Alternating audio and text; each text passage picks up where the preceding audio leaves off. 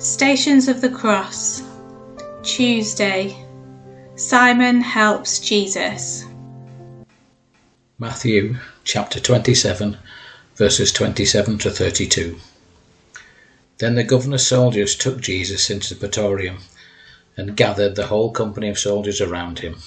They stripped him and put on a scarlet robe, and then twisted a crown of thorns and set it on his head.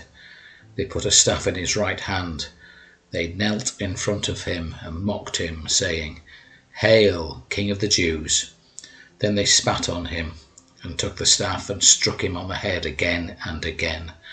After they had mocked him, they took off the robe and put his own clothes on him. Then they led him away to crucify him. As they were going out, they met a man from Cyrene named Simon and forced him to carry the cross. Jesus is badly beaten. He's already fallen once and felt the sorrow of seeing his mother. His energy and spirit are consumed. But a man from another place appears, pushing forward from the crowd and pressed into service Simon of Cyrene. I'm sure he didn't know when he woke up that morning that he'd end up as a significant player in the spectacle of an execution. Was he filled with compassion and willing to get involved? Or consumed by fear, only helping reluctantly? There's no way to know, but maybe it doesn't matter. When the time came, he did the work. He answered the call. On this day, love was shown through an action. Are you in need of help or encouragement? Don't stop asking or looking for what you need. Remember that we can't always make it on our own. We need companions, helpers, and support from others. Allow others to help you. Accept when the burden becomes too much to bear. Maybe you're being called to be the help. Your back is stronger. Your experience is greater. You have something that can be of service. Try to answer that call possibly for someone you don't even know. For whatever we do for the least of us, we do in service to Jesus. Sometimes in helping others, we have the opportunity for our own transformation. Simon's name comes from a Hebrew phrase meaning he has heard. What has Simon heard? The call the call for all of us to help lessen the burden of others. Do we hear that call?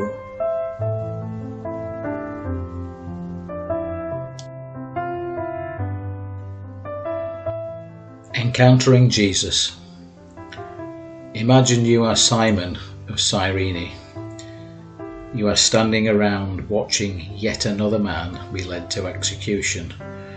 Only this one's in pretty bad shape. A soldier grabs you and orders you to help the prisoner, this prisoner who can barely stand. You are told to pick up the cross. It's heavier than anything you have ever carried before. What do you feel? What do you say to the dazed man walking next to you? Does he speak to you? How does he look? Is there someone in your family, your community, your church who is suffering physically, emotionally, or financially?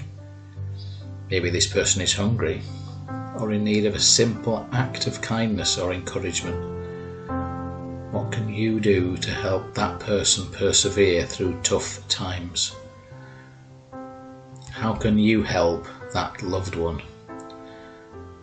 A stranger, or a colleague, how can you help them carry their cross?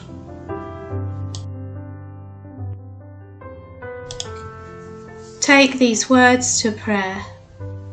Men are beginning to realise that they are not individuals but persons in society. That man alone is weak and adrift, that he must seek strength in common action. Even in the midst of his own pain and suffering, Jesus was not thinking about himself.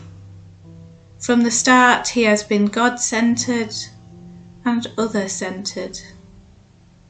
He is the embodiment of the Golden Rule, which asks us to love God and love our neighbours.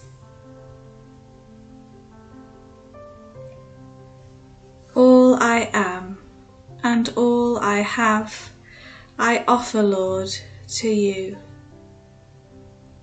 I offer you these hands that you might use them in and through my daily work. I offer you these feet that you might lead them to someone who needs my help. I offer you these shoulders if you could use them to help lighten another's load. I offer you this voice that you might use it to speak up for those in need. All I am and all I have, I offer, Lord, to you. Amen.